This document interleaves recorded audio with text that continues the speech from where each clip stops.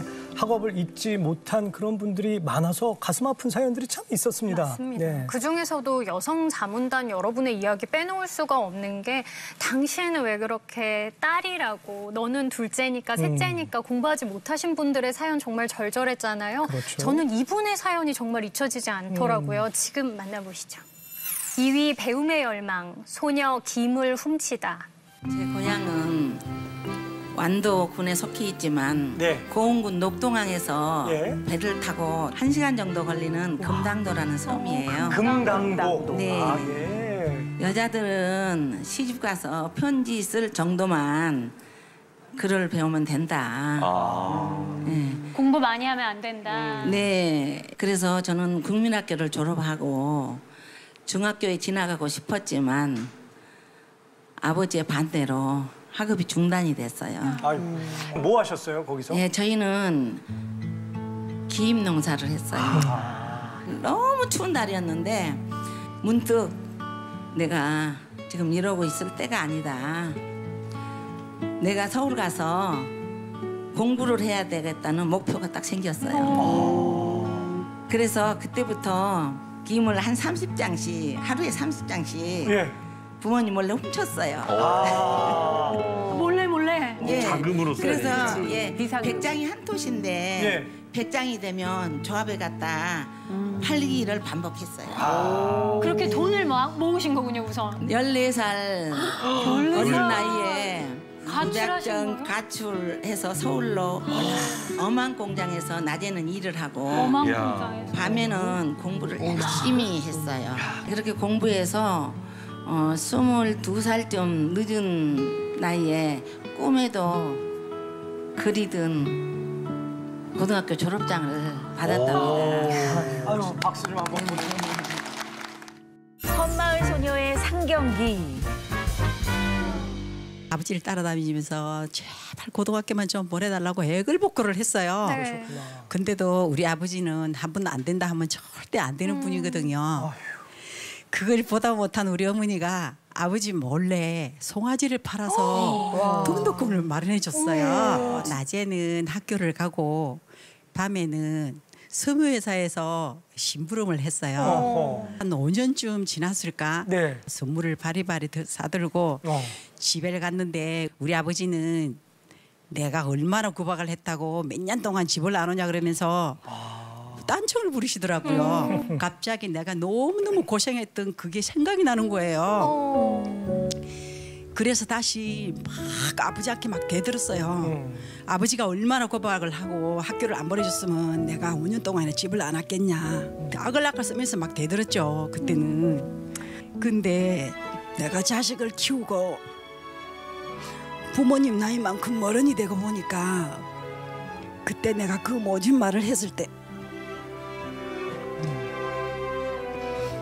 우리 아버지가 얼마나 가슴이 아팠을까 생각을 하니까 아버지 이제야 말씀드립니다. 그때는 정말 죄송합니다. 만약에 아버지 어머니를 다시 뵐 수 있다면 그때 못다한 효도를 다 해드리고 싶습니다. 좀 집안이 넉넉해서 더 많이 가르쳐 줬으면 좋겠는데 그렇지 못한 이 상황에 대해서 부모님은 또 얼마나 가슴 아프셨을까요? 네. 김영점 선생님께서 또 시간이 지나고 저렇게 더 목매이고 눈물 흘리실 수밖에 없었던 게 뒷이야기가 있더라고요. 음. 아버님께서 실은 김영점 선생님을 공부시키고 싶으셔서 문어를 말려서 네. 이거를 학비로 쓰려고 준비를 다 하셨는데 어허. 때마침 그때 언니가 몸이 안 좋아지면서 어쩔 수 없이 그걸 주면서 이거 네 언- 엄마 갖다 줘라. 네 언니 병원비로 써야겠다. 근데 실은 그 문어가 선생님 학비로 준비했던 거였던 거죠. 그랬대요. 네, 아픈 자식이 있으니 공부시켜야 되는 자식을 마음 아프지만 뒤로 밀어둘 수밖에 없었고 그걸 나중에 아셨기 때문에 더 마음이 절절하게 아프셨던 아유, 거죠. 그래도 그 어머니께서 큰 용단을 내리셔서 송아지를 팔아가지고 그래도 어, 유학을 보내신 거나 다름이 없는데 하지만 어찌됐건 그 부모님한테 잘된 모습을 보여드리고자 주경야독하면서 정말 눈물 흘려가며 노력을 하셨던 김영점 선생님. 아, 요즘은 참 어떻게 지내시는지도 궁금하네요. 궁금하시죠? 예. 김영점 선생님께서 정말 대단하신 게요. 음. 학사, 석사 다 이뤄내시고 현재 박사 과정 아. 그래요? 참. 지금 논문을 쓰고 계신데 네. 논문 때문에 고민이 참 많으시다고 해요. 그런데 행복한 고민이신 거예요. 이분에게는. 왜냐면 공부에 한이 있으시잖아요. 그래서 원 없이 공부할 수 있어서 난 너무 행복해요. 이러고 계신다는 겁니다. 아이고. 공부가 행복한 분들이 계세요. 진짜. 그러니까요. 그러고 보면 우리 선생님들의 인생 자체가 큰 가르침이다 맞아요. 이런 생각을 네. 또 해보게 됩니다. 자 스승의 날을 맞아서 저희 황금연못이 준비한 자 우리 자문단 선생님들이 뽑은 추억 옛날 이야기 베스트 5 이제 대망의 1위 만나보겠습니다. 1959년 추석에 태풍 사라가 우리나라를 덮쳤어요. 내 고향 산주도 피해가 막심했습니다. 뚝이란 뚝은 다 터지고 농가밭은 숙제밭이 되고 말았어요. 그때 나는 중학교 3학년이었는데 그런 상황에서 도저히 학교를 낼 수가 없어서 학교에 나가질 못하고 있었는데 어느 날 담임 선생님께서 어, 연락이 왔어요. 바로 형님과 함께 학교에 갔지요. 선생님께서 우리 사정을 에, 들으시더니 장학생으로 선발해서 공락금을 면제해 줄 테니 꼭 학교에 나오라고 하셨어요. 선생님의 도움으로 중학교로 졸업할 수 있었어요. 그걸 계기로 직업군인까지 어, 할수 있게 되었으니 내 인생의 원인이시지요. 제 인생을 에, 바꿔주신 3학년 담임 선생님의 은혜에 정말 감사드립니다. 예. 학창 시절 추억 대망의 1위는 은사님, 나의 스승님 이야기입니다. 우리 두 분도 기억나는 선생님들 있으시겠죠? 저는 네.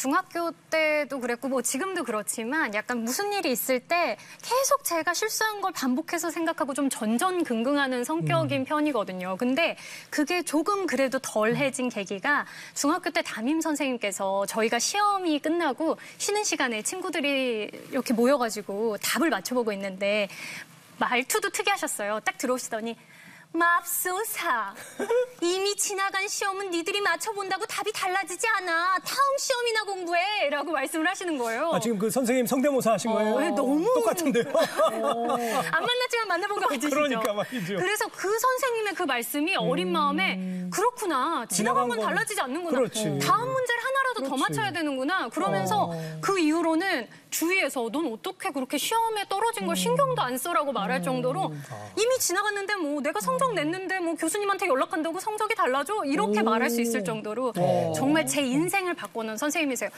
제가 이름을 잘 기억을 못 하거든요. 맙소사, 카에라 네가 내 이름을 잊어버린다니.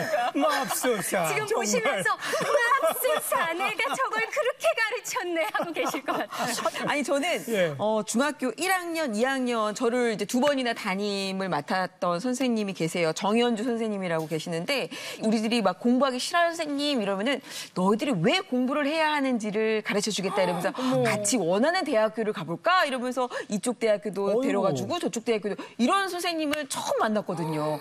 그런 선생님 그리고 같이 떡볶이 사주세요 이러면 음 돈은 없지만 내가 지금 애인이 없으니까 너희들을 위해 음 이러면서 막 떡볶이도 해주시고 어. 뭐 이랬던 선생님이신데 어, 어. 한 번도 못 찾아뵈서 정말 죄송합니다. 정연준 선생님. 아 이제 그런 선생님을 처음 뵀거든요. 이게 뭐- 제 초등학교 6학년 이 졸업 앨범, 이 졸업 앨범이에요, 이게. 예전에 제 6학년, 아, 제가 2반이었으니까. 어머, 예. 근데 학생이 문기영 선생님이시고. 어, 여기 미남이시네요, 선생님이. 어, 그럼 총 여기 한 김, 학생 수는 68명에서 70명. 그런데 김홍수 아나운서 예.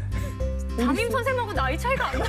어, 찾았어요? 어디 있어? 지금 제가 손으로 짚고 아, 있는데 여기 그래 맞아요. 아유 눈썰미도 좋아요. 문기영 선생님 예전 사진 좀 확대해서 가져왔고요. 당시에 저의 그 사춘기 시절을 잘 인도해 주셨던 우리 선생님 지금 아, 한 40년이 지났잖아요. 선생님의 요즘 모습이고 아, 최근에 뵙고 네, 최근에 우리 선생님께 너무 감사해서 어 그때 어, 졸업한 지 35년 됐을 때 가서 인사드리고 선생님한테 와, 다시 덕담 듣고 너무 좋아하셨겠다. 당시에 제가 반장이고 전교 회장이었는데 집이 그렇게 넉넉지가 않아가지고 학교에다 뭘 이렇게 할 수가 없었어요. 근데 선생님께서 가운데서 방패막이를 다 해주셨고 저한테 정말 큰 가르침을 주셔서 지금의 제가 있는 게 아닌가 하는 생각을 해봅니다. 예. 황금연보 즐겨 보신다고 아, 하시나요? 그럼요, 그럼요. 오늘 그래서 선생님 이 사진을 혹시 제가 이렇게 보여드려도 됩니까? 방송에서 그랬더니 그러면 내가 너무 자랑스럽지 이렇게 얘기를 해주셨거든요. 그럼 선생님 보고 계실 텐데 네. 사진 드신 김에 마음도 한번 전하시는 게 아이고. 선생님, 어, 매년 찾아뵙고 있는데 작년에 코로나 때문에 그리고 올해도 스승의 날 뵙지를 못할 것 같습니다. 이제 코로나19 종식이 되면 연말에 우리 선생님 모시고 저희 동창들과 함께 또 뜻깊은 시간을 갖도록 하겠습니다. 선생님 그때까지 건강하시고 백신 맞고 우리 예, 정말 기분 좋은 그리고 건강한 상태로 꼭 다시 뵀으면 좋겠습니다. 선생님 건강하십시오. 네. 이렇게 한 분 한 분의. 은사님들이 계시기에 지금의 우리가 있는 거잖아요. 네. 우리 자문단 선생님들도 잊을 수 없는 은사님이 계시다고 해서 음. 지금 함께 만나보려고 합니다. 확인해 보시죠.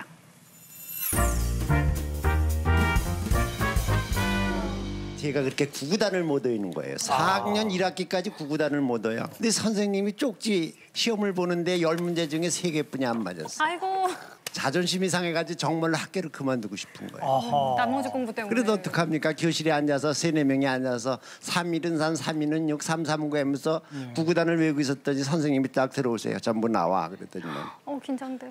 창피하지? 그러더니 하는 소리가 하시는 소리가 내가 너희들 잘못 가르쳐서 그러니까 너희들이 내 종아리를 때려려면서 종아리를 다 거두시는 거예요. 같아요. 그때는 선생님 그림자들 못 밟는다고 맞아요. 배우던 시절이었거든요. 근데 선생님을 어떻게 때립니까? 맞아요. 근데 선생님이 그냥 야단을 치죠. 빨리 때리라고. 어 그러면서 선생님 종아리를 때렸어요. 근데 한없이 울었죠. 어허. 그때는 선생님이 저를 딱 껴안으시는 거예요. 그러면서 김은아, 나도 4학년 때 받아쓰기를 못해서 나머지 공부했다. 근데 나 지금 선생님이 됐어. 너 지금부터 열심히 몇 배 하면 틀림없이 훌륭한 사람이 될 거야. 이렇게 말씀을 하시는 거예요. 그게 가슴 속에 와닿았어요. 정말이지. 아직까지도. 우등상이라는 옆에도 못 갔었는데 6학년 때는 우등상을 타고 졸업했어요. 중학교도 우수한 성적으로. 선생님 덕분에. 하여튼 그래도 선생님의 그때 자극을 받아서 정말이지 경찰서 한 번 안 가고 그야말로 남한테 금전적 손해 안 끼치고 시니어들의 로망인 여기 황금나 아유, 그러시죠. 얼마나 자랑스럽게 생각하시겠어요. 고등학교 1학년에 입학했습니다. 아하. 아, 그 당시에 가장 저에게 인상 깊고 저에게 은인이었던 김홍배 선생님을 저는 잊을 수가 없어요. 아유, 선생님 벌써 눈물이 이렇게 고이시는데 제가 이제 고학을 하기 시작했어요. 아. 자기가 돈을 벌어 가지고 혼자 그래 가지고 이제 사는 학비도 되고 네. 이제 뭘 파셨어요, 선생님? 아, 그 당시에는 이제 양초 아세요? 어, 알죠. 네. 예, 초. 성냥. 성냥하고 양초. 아. 그 다음에 럭키 치아가 아실 치약, 이렇게 치약, 예. 그 다음에 예. 이제 구리무가 있는데 구리무. 예, 727 구리무라고 아마 다 아실 아, 분도 알죠. 있을 크림. 거예요. 예. 아, 동동 그런 구리무. 예. 물건을 가지고 다녔어요. 그럼 집집마다 이렇게 예, 다닌단 집마다 다? 있는데 예. 그냥 들어갔는데 김홍배 선생님이 우연히 가지고 들어갔는데. 반가워 가지고 이제 거기서 식사도 하고 양초 다섯 갑 그러니까 양초에 여섯 개가 들어 있는 게 한 갑인데 어, 많이 사주셨다. 갑. 아, 그 흐뭇하죠. 네. 그래 팔아주시고 그다음에 특히 그 사모님한테 감사드리고 싶은 것은 가끔 가다가 그 변도를 그 선생님이 가져와가지고 푸는 거. 아하. 나중에 제가 이제 그 대학교를 졸업하고 육군 소위가 됐을 때 예. 이제 한번 찾아가 뵀어요. 아하. 어 그래가지고 이제 중국 옛날에 중국 음식이 최고였었으니까 그걸 대접해드리고 굉장히 그 멋있는 분이었고 예. 또 우리에게 인격을 우리가 도양시키는데 큰 힘이 됐던 분이라고 저는 생각합니다. 이런 스승님 만나면 정말 평생 못 잊죠. 그죠? 음. 이런 맞습니다. 스승님. 어, 대단하신 왜 분들이. 그런 얘기 있잖아요. 교사가 지닌 능력의 비밀은 사람을 변화시킬 수 있다라는 거다. 우리가 지금까지 살아오면서 만나온 훌륭한 선생님들이 계시기에 지금의 우리가 있는 게 아닌가 다시 한번 또 생각해 보게 되네요. 이제 나이가 들면서 그런 생각이 들더라고요. 그러니까 참 뭐 인생의 스승까지는 아니어도 우리 젊은이들에게 아 괜찮은 어른이네 뭐 이런 얘기를 이제 듣도록 더 저를 갈고 닦고 수양해야 되겠구나 이런 생각을 해보게 됐습니다. 오늘 아주 뜻깊은 시간 마련해 주신 우리 자문단 선생님들께 다시 한번 감사의 말씀 드리면서 인생톡 공감톡 마무리하겠습니다.